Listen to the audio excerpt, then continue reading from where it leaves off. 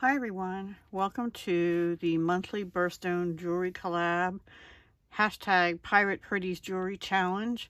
I started in on this with the February one um, and March is now up. We post on the 15th of each month and just look for the hashtag Pirate Pretties Jewelry Challenge which I'll have linked below and uh, you can see Pirate Pretties channel and um, any others that are participating. Now, there's no set time that I'm aware of, through, so just check throughout the day. For March, our color is aquamarine, with the birthstone color. And the metal type we were to use is either silver or copper, and I use silver. Uh, the project type is a necklace. I did two necklaces, a bracelet, and several pairs of earrings. And fun element is shells or fish. And I used both. So, um, I'll be right back. Sorry about that. So, um, yeah, I've done everything. So let me just unveil. The first set is here, the first collection, and um, this way. All right, I think that's good. So this is made out of aquamarine chips, aquamarine little drops, and little rondelles. And then I have a shell fish. And I'll tell you where I got all these things. And then these are litus or litub shell heishi beads. And these are shell. Um, so let me see if I can figure this out for you. Nope, I didn't use those. Uh, I didn't use that. Okay, the Heishi beads were from Fire Mountain a long time ago, but the number then was H204372GS. They're 5 to 7 millimeter, and they're not all perfect, but most of them are. And they have little ridges on uh, one side of them. They're really kind of cool, and they're they're a, a bright white. And it says bead Heishi L-I-T-U-B. That's a type of shell, I think. Natural is N. And they're on a 16-inch strand. So I don't know if they still have them, but there you go. The squares were from uh, Bead Gallery, so Michael's. Honestly, I don't know when I got them, a long time ago. And I used only one, it was like two strands, and I used only one. And they're drilled, they're drilled sort of off um, they're like a third of the way down, third of the way down the side. So they, they don't hang down a lot, but they sort of, they're off center is what I'm trying to say. and then um, I think I put my other aquamarine away already. But these, I think, well, let me see. I have them down here. I have a little fishing tackle box thing with my aquamarine and all aquamarine is not created equal. Okay, the chips, the rondelles, excuse me, were from jewelrymaker.com. The chips were from Fire Mountain. And the little, um, these things, the drops were from Auntie's Beads. 9mm fat. Now, these I got a long time ago, too. So, I don't know if they still have them. Did I miss anything? Rondelles, chips, and those. Yeah, I think that's it. Um, so just search on aquamarine if you want want them. So I think my beadboard's been lying to me because when I laid this out, I had nine inches to the center uh, drop right? So that would be 18 inches. But then when I take my ruler next to it and go like this, it's it's not. It's like eight something. So I think my bead board is kind of wrong. Um, yeah, it's like eight, not quite even eight and a half. So that would be only 16 inch. So I put a two inch extender on it, thinking I had an 18 inch and was going to extend it to 20. And you see that has natural coloring too on the fish. Oh, those came from um, Oriental Trading, actually. And do I still have them out? I don't think I do. I thought I did. Anyway, yeah, they definitely came from Oriental Trading. I don't seem to have them out still. Um, yeah, and the, oh, I'm sorry, and their shell. So then I made this bracelet, same, oh, and the, um, the lobster claw and the chain uh, extension, those are from BB Craft. I had bought a huge order la last year sometime. These are all two inch extension chain pieces. Sorry about the light glare. In different colors. I used the bright silver one because I have bright silver beads. And I also used the bright silver lobster clasp in this little thing. Now they're from BB Craft, but um, I think these are actually Panda Hall. Yeah, because their code starts with a PH. I don't know who these are from, but I bought them from BB Craft. And you can see in the chips that some of them have browns and things. I'm okay with that because it's a natural look, right? And you'll see on the next necklace that this is more of a green blue. This is like a rough, natural aquamarine. Um, now on this one, on the bracelet, I did not use the squares. I used these little donuts instead. And those were from jewelrymaker.com over in the UK. They're 10 millimeter. They call them corn coin hoops, but I call them donuts. And um, yeah, I got I got a lot of my stuff along you know several years ago. But otherwise, I used the um, rondelles, I used the Heishi beads, and I used the chips in the back here. Now, I didn't have an aquamarine small enough to fit in the middle of those. So since I was using, I forgot to tell you about those.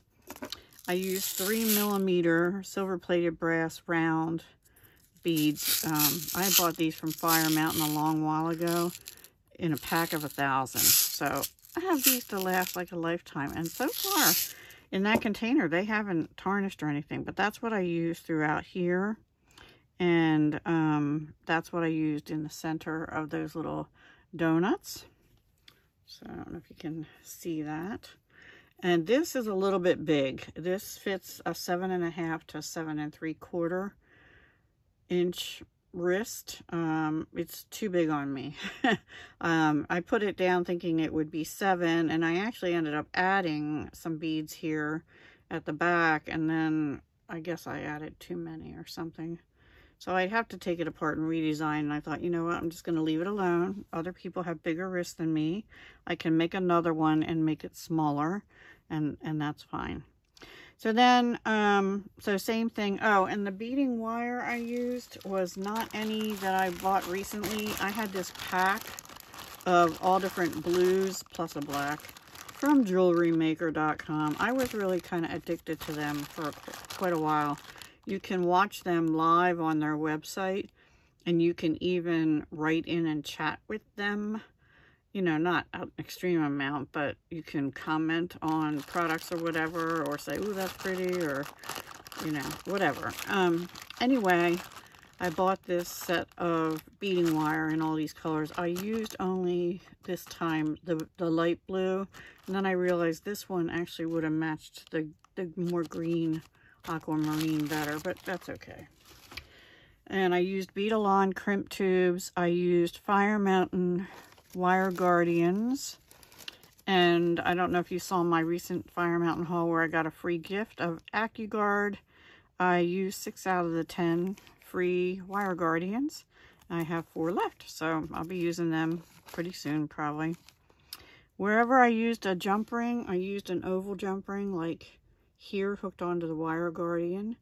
Um, and same back here, only I used a little bit bigger one, I think. No, I used a small one right there, hooked onto the wire guardian, and then this chain is hooked on to that as well. I used a little bit bigger one on the fish because I had to be able to get it through and make sure that was secure. Okay, and then the earrings, um, I guess I'll start with these. Um, on these three pair, I had these lever backs that I've had for ages from Fire Mountain. And they have a shell on the front, so I thought that was appropriate. Same design with the aquamarine rondelles and the Heishis, only I cut it down to three Heishis instead of five. And then I just used some 22 gauge artistic wire to wire wrap the little drops. And almost out of that one. Um, but it's, it's this 22 gauge. And it comes on a 10 yard spool, non-tarnished silver. And so that's that's those. Very simple. I do have the silver bead on the top there too. And then I did two with fish. One same design on the top as those other ones. Oops, they're backwards. Um, but then I just did the fish dangle instead of the aquamarine dangle. So cute.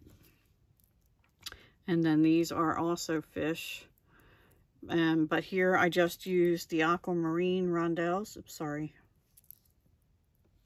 And um, you see I, I put like a natural color looking one in the middle of two lighter ones just to give it some difference. Because not everybody wants shell and not everybody wants fish either, but um, that's okay. So those are my shell and fish requirements, right? So then, let me move these out of the way. I'm going to put them on a bead tray back here um, so I can show you the next one. Next sets. okay. So the next necklace I did, which is a requirement, is this. And I had these five, uh, what did they call them? blue striped dyed shell 20 millimeter they were from michaels back in 2015 i had five out of ten left so i figured you know what let's get them out of my box and use them so i did and i tried to put the nicest one but they're they're a dark blue um, sorry, I'm still getting used to the phone camera. And some have, you know, spotches. They're, they're natural dyed shell. That one has a spot too, but if you flip them over. Now these are 12 millimeter aquamarine, and those were from Fire Mountain. And these light blue crystals are that Austrian company that we're not supposed to mention anymore. But I have a lot of it in my stash. You see that name there. 5 millimeter aquamarine crystal round beads. And I wrote on here, these were from Fusion Beads when they still had their own website. And I had already written on here, discontinued. I had two packs of 10 and 20, and I only have two left. So I'm going to use them soon. And then these are, you know, I just bought shell pearls from Beadbox Bargains. But I have I had five packs of 10 millimeter of these silver South Sea shell pearls from a place called EE Beads, which is long out of business too. And they're all the same item number, so um, yeah, they were 485 for a pack of 10. And I bought all these. I don't know what I was thinking. I do stuff like that. Anyway, um, so I used 10 plus another couple, I think, two or so, and put them in between. Now, I was running low on the little blue ones. I thought I was going to run out of them, the aquamarine color crystals. So I went digging in my stash a little more, and I found some in indigo blue. I think this is the color. Dark indigo, six millimeter rounds that same Austrian company we're not supposed to mention, but these were from Fire Mountain. Um, and I thought that tied in the blue of here. So I left the aquamarine down here. I tried putting the dark ones down here and I didn't like it. But after this one, I just did every other one in the dark indigo versus the aquamarine. because I needed some for earrings and I was running low. Um, yeah. Anyway, that's it. And then I did, again, the BB Craft Lobster, the extension chain, and this is a little 10 millimeter one, Aquamarine. Here's the 12 millimeter. Uh, they were heat heated. That was a treatment that happened to them. They do that a lot in beads. Otherwise, natural. So, blue aquamarine 12 millimeter round. H209683. And I got these a long time ago, so I don't know if they still have them. Um, and the 10 millimeter round, which I only used one of here. Uh, I think that's the only one I used at all. Um, and that is uh, H2O9682SK. And I also have them in 8 millimeter, but I didn't use any of those. So that is necklace number two. I just love it. And the same thing, I thought I was making an 18 inch extendable to 20. And I'm pretty sure I made a 16 inch extendable to 18. So yeah, I had to figure out what's up with this beadboard or get a different beadboard or something. I could show you. I laid it out on my beadboard and it came up to nine inches on either side. Yeah, it's not. Oops, piece of my beading wire. Um, so, let's see. Oh, and the bead caps I used on the aquamarines were from Fire Mountain. H2O 1305FN. And they look... I thought they had sort of a shell look to them. It just says swirl. And they're silver plated. They look like that. And they've been in my stash for a little while now. Yeah, I can tell based on the item um, code of my inventory. And then I did use um, two little stardust beads. I was going to put one at the end and it was getting too long, so I didn't. Those were actually from Oriental Trading. I hope they're going to be okay. But those are 6 millimeter silver glitter round metal beads. Oriental Trading. I just stuck them in this little container and put their label in there. Let's see, did I miss anything else on this? I don't think so. I think that's it for that. And now for the earrings, um, the first pair I made, okay, so when I was looking for crystals, um, I ended up actually organizing, sort of organizing better anyway, on my Swarovski crystals. Oops, Austrian crystals. Um, I and actually I was looking in my inventory system for something else and I came across the fact that I had fish, Swarovski Austrian crystal fish. and I have two of them. I have these in crystal clear and I had these in crystal blue shade or something like that. I forget. I have it here somewhere uh, crystal crystal blue shade they were from art beads a while back and the other ones probably were too i don't know where that is um so because i was using those good crystals i went looking for sterling silver and i decided to go with silver filled so these marquee shaped ear wires I thought kind of look like fish a little bit. So I thought they'd be good. Uh, these little two and a half millimeter silver beads are silver filled. I see I have a little spiky thing I have to fix. I'll do that after. And then these are, um, I want to say four millimeter, but I think they're five millimeter round shell beads. And then those same Austrian crystals in aquamarine color I don't have my pliers at this table right now, so I can't fix that right this second. Those I've been keeping in one of the bags that, um, because they're silver filled, because I was rather disappointed that I had bought some head pins and eye pins in silver filled, which is supposed to be better than plating, and both of mine were starting to tarnish and change color. So I don't know if it was the person, the company I bought them from was at a bead show. Very possibly not reputable, but it's been so long, I don't know. All right, so this next pair then, I used the shell pearls, same ones. And then the smaller shell pearls are off a recent purchase from Bead Box Bargains. These are actually champagne color.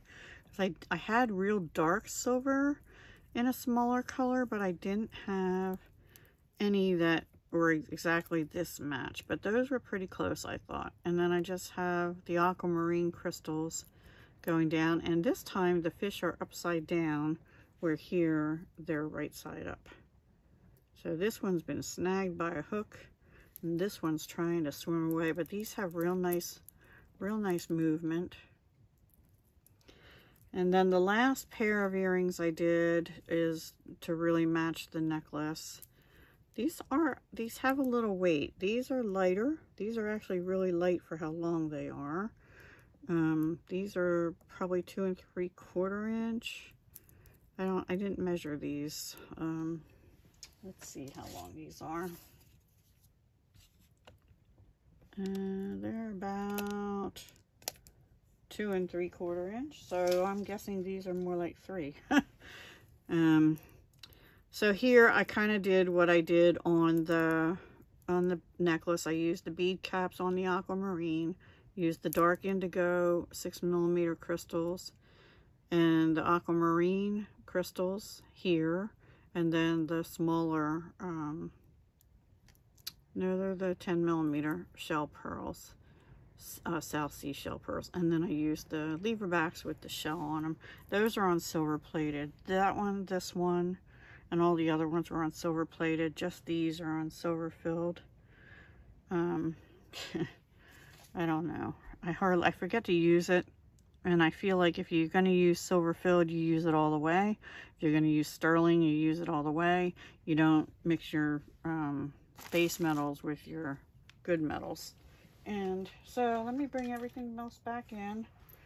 That is my my contribution. Oh, you can't see it. Um, oops, sorry.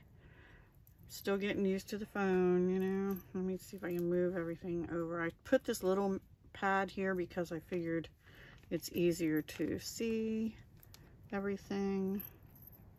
There's a little fishy on the back of that one.